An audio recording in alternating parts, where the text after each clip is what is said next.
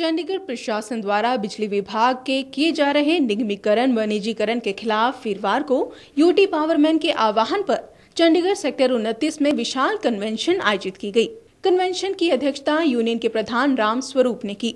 Convention में भारी संख्या में अलग अलग श्रेणी के बिजली कर्मियों के अलावा अभियंताओं ने भी हिस्सा लिया। कन्वेंशन का उद्घाटन electricity employees federation of India के सचिव साथी हरभजन सिंह ने किया। बिजली क्षेत्र की वित्तीय हालत सुधारने के नाम पर देश के बिजली बोर्डों को तोड़कर कॉरपोरेशन व कंपनियाँ बनाए जाने से इन कर्मचारियों में खासा रोष है।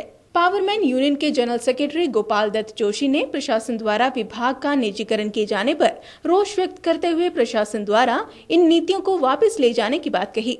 आज की कन्वेंशन की हमारी एक ही मांग है कि चंडीगढ़ प्रशासन डिपार्टमेंट में जो खाली पड़ी छह सौ करीब पोस्टें हैं, उनको भरने की बजाय डिपार्टमेंट में स्टोर में सामान नहीं है मीटर नहीं है, केबल नहीं है इवन देन जो बेसिक रोज़ ज़रूरत की चीज़ है फ्यूज वायर भी नहीं है, उस सामान का इंतज़ाम करने की बजाय डिपार्टमेंट का निगमीकरण करने के लिए बड़ी बेताबी से जो है वो कोशिश कर रही है, जो लोग विरोध को के विरोध में हैं। क्योंकि जहाँ जहाँ भी निगमीकरण किया गया है, उन स्टेटों की हालत बहुत ही बदतर हुई है। बिजली के रेट बढ़ाने के बावजूद लोगों की पहुँच से बिजली बाहर हो रही है और जो दिक्कतें हैं, वो सामने है।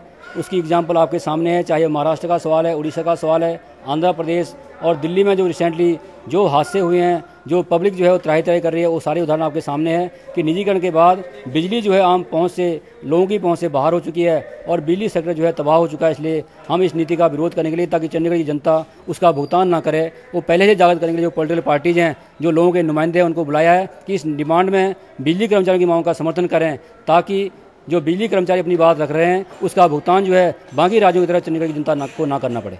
गौरतलब है कि बीते दिनों प्रशासन ने बिजली विभाग को निजी हाथों में दे दिया था, जिसका ये पावरमैन यूनियन विरोध कर रही है। Bureau report, Rubaru today.